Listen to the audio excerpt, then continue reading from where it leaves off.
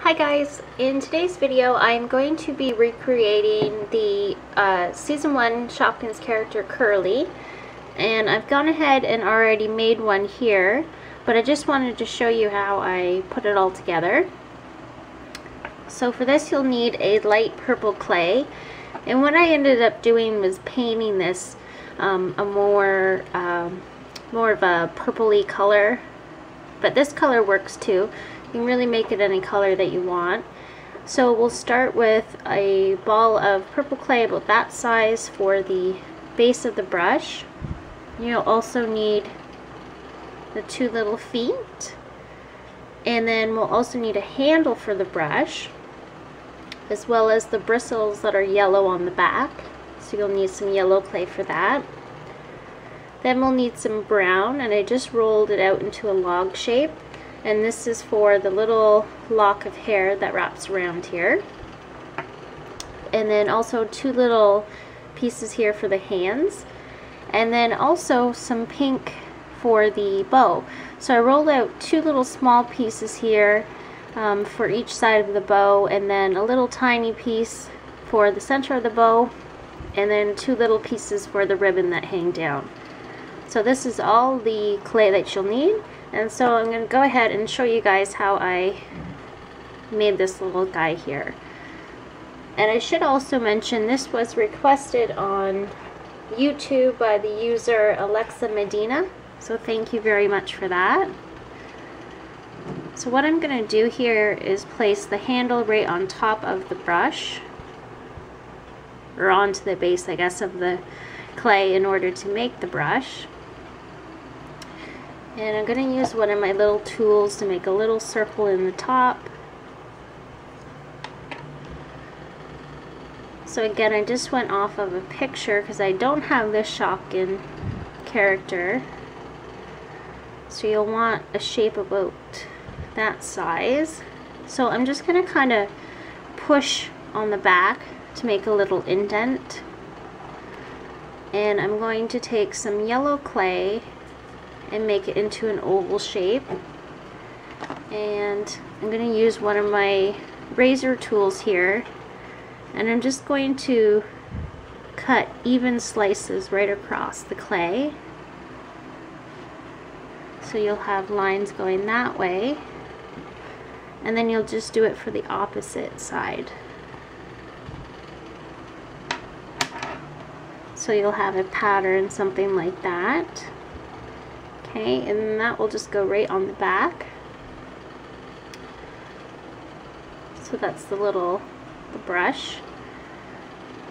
So once you get that on there, you can push your feet together. And we'll pop that right there on the, the bottom of the purple. So then you have the back of the brush like so and I'm going to go ahead and assemble my bow. So I'm going to flatten out one of the little balls that I made and I'm just going to pinch it and turn it into a triangle. Okay, so I'll show you by just taking a ball, just flatten it out on your finger.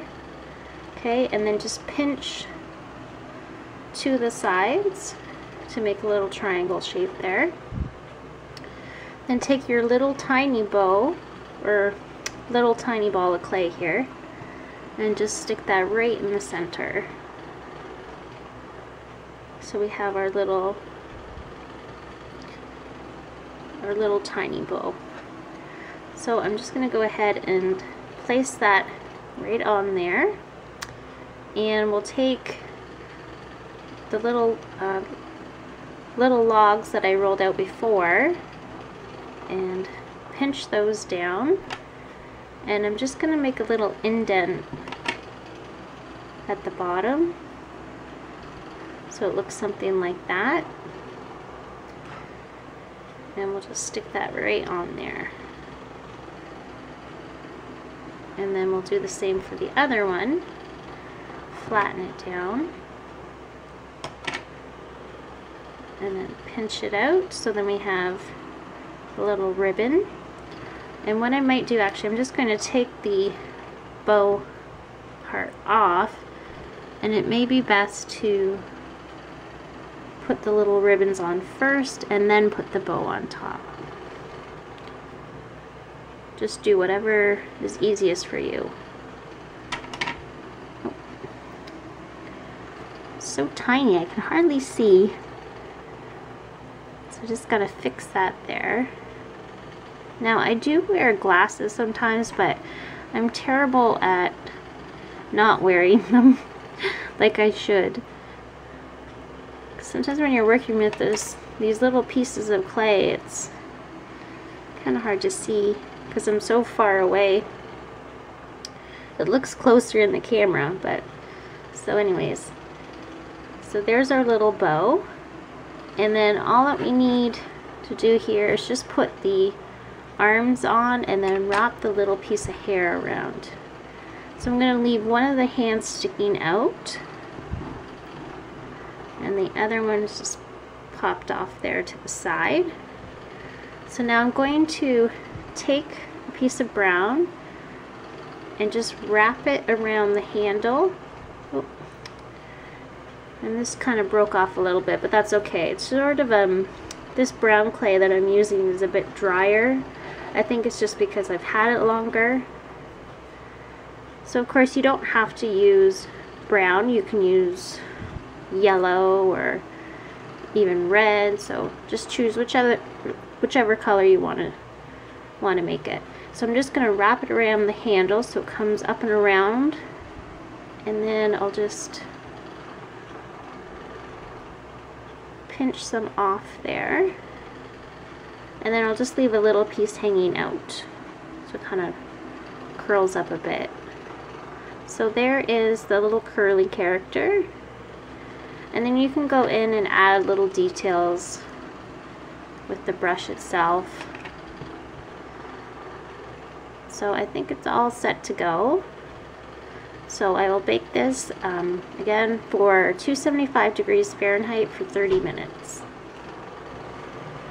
Alright, so once you have it baked and it's all set to go, I'm just going to go in with my paintbrush and some black paint and just make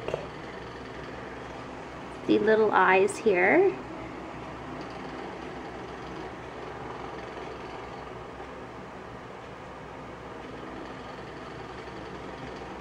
So we just have one little eyelash up the top.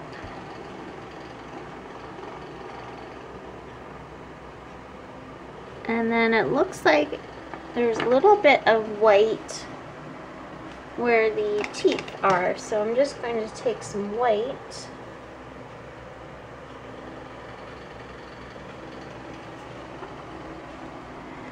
and then just make a little a little smile there.